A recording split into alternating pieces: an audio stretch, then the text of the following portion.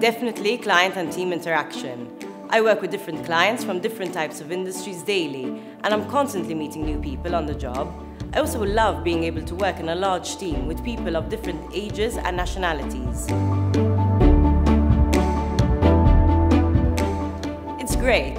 Working at a big company means that you work with a lot of people with their own skill sets, which makes it a very interesting work environment. Working at Deloitte means I work for an international company where we connect with people from all over the world on a variety of unique projects every day.